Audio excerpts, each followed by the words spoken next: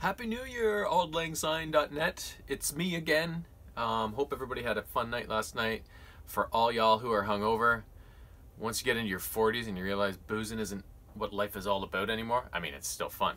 But uh, then you don't drink on New Year's Eve and you feel great the next morning. I didn't even see actually see midnight. I um, I think I was still recovering from Christmas when the cat apparently woke James up at like 5:30 in the morning. So then he was up, and then everybody was up, and then just never caught back up on the sleep. So last night we went to Mandarin for like this big buffet dinner, and then we got home. We were watching some episodes of The Office and such, and it was like all of a sudden I was just like bang.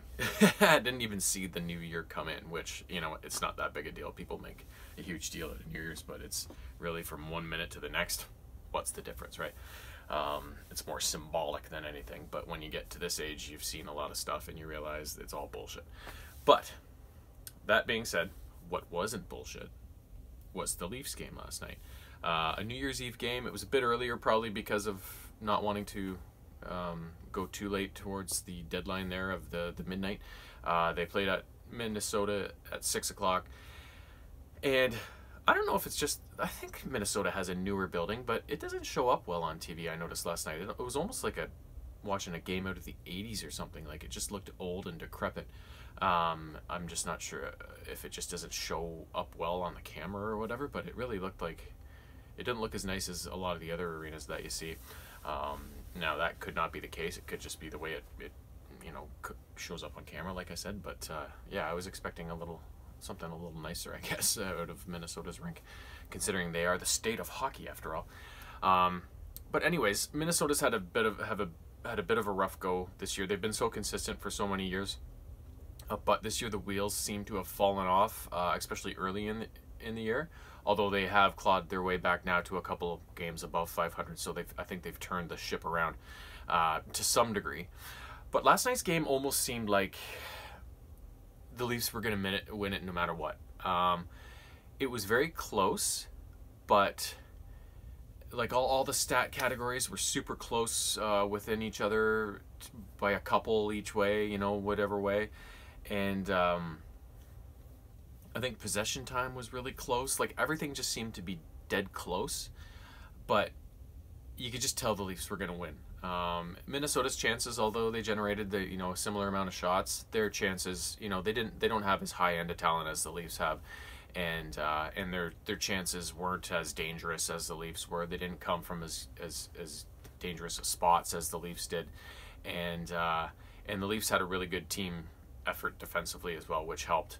Uh, and Freddie, although he had to make 26, 27 saves, whatever it was, um, he didn't appear to be as taxed as as he he is a lot of other nights when the Leafs are cop, coughing up um, you know dangerous turnovers right in front of them and stuff like that. So um, so yeah, Fred was solid, um, and then uh, the Leafs converted once on the power play, uh, went two for three on the PK. Uh, the goals they scored six minute in, six minutes in. It they were down low in the, the Minnesota end, and uh, Tavares was battling for the puck, almost turned it over, got it back, and then literally uh, slipped like a three foot pass over to Kerfoot, who was just waiting there, ready to go, and he roofed it uh, high glove on uh, on Dubnyk. And then uh, towards the end of the first period, it was more down low play. Down low play. Barrie was in pinching. He was in behind the Minnesota net uh, battling for the puck, and then just kind of tried to throw it out front, and it was just a scramble bouncing around. Matthews was whacking away at it and trying to get it go, uh, to get it to go around the the left Dubnyk's left side, and uh, eventually it just kind of popped loose into some skates, and Nylander was just kind of waiting there for something to happen, and he he just banged it in once it came loose. Um, and then uh, yeah, it was in the second period, I believe it was. Uh, Leafs were on a power play.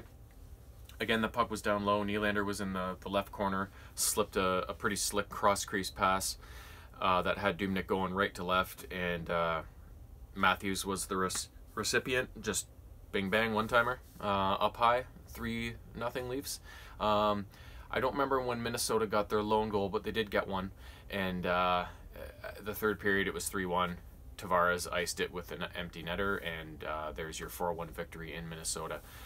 Uh, yeah, so overall, a really solid game. Um, it's nice to see them have such a better game defensively, a more cohesive effort, and uh, and then what that does, like I said, is that you just didn't see Freddie having to make those sparkling saves that he has to so often, uh, and then you see like when they played the Rangers the other night, like what did he let in three or four goals? I think four goals. Um, but within those four goals they scored, he also had to make you know how many 10 bell type saves, right? So um, when the Leafs just play that little bit better defensively in front of him, he doesn't have to work that hard and he lets in one goal, you know, like, um, and, and it's just uh, such a better situation for him, both in terms of probably um, his mental state of being and also just keeping him uh, a little bit fresher physically too. Uh, for the rest of the season because it's a long season and we know with the whole backup goalie situation drama that everybody's kind of fabricated out of nowhere this year that he's probably going to get ridden a little more than he would have in previous years. So um, it's important that they they try and help him out as much as possible. Uh, the only other note was that just before the game, it was announced that they signed uh, defenseman Justin Holl to a three-year contract. So there's one more. I think the only they mentioned that the only defenseman the Leafs have signed through 2020 is Morgan Rielly. I mean, he's their top guy, but all the other guys are, I think, free agents as of the end of this year. So now it's finally nice to have Holl signed because, like I've mentioned in a few of my previous videos, he's become such a revelation this year. After Babs gave him the, the pine for so long and he basically lost a year or so of his career to being a healthy scratch, he's he's gotten into lineup this year and, and he's been dynamite. So um, to get him, they got him for three years, six million, so two million dollars a year. So a pretty good value for a guy that looks like he's only trending upwards. Um, that's a pretty good signing, and uh, now they've got two defensemen signed long term or longish term, whatever. Um, so that was encouraging news, and uh, he's actually from Minnesota, so he signed the deal kind of in Minnesota uh, as kind of a homecoming. So that was kind of cool.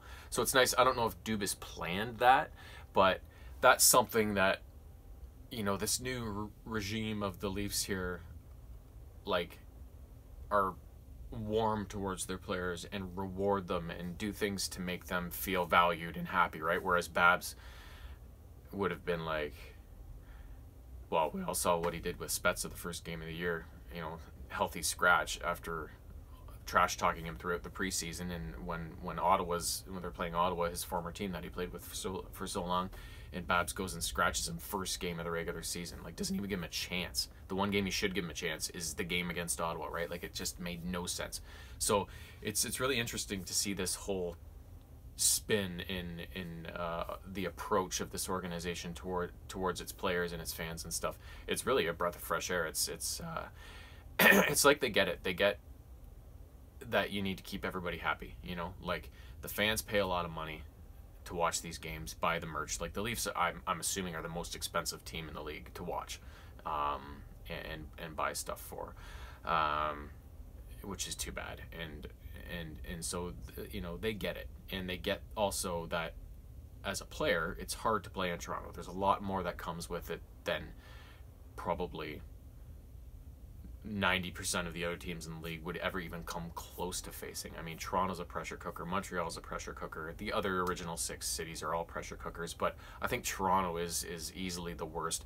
So the management gets that, you know what, these guys go through a lot. They're daily. It's not just, oh, come to the rink in your flip-flops on the California coast and go play a game of hockey. Go home afterwards. Nobody gives a shit. Nobody knows who you are unless you're wearing your uniform, right? Like it, you've got this anon, anon anonymity that um, you know serves you well and, taking that pressure of the press and the drama and all that shit off your shoulders right so so i think that the organization gets it and they're trying to just understand everybody's needs around the leafs fans players uh, staff everything and uh, they've really uh, uh, turned everything around and, and I think this is the right approach. If they're if Dubas like I said if, if he isn't going the toughness route to some degree and I don't feel that that's the right route in terms of the the style of game he's playing.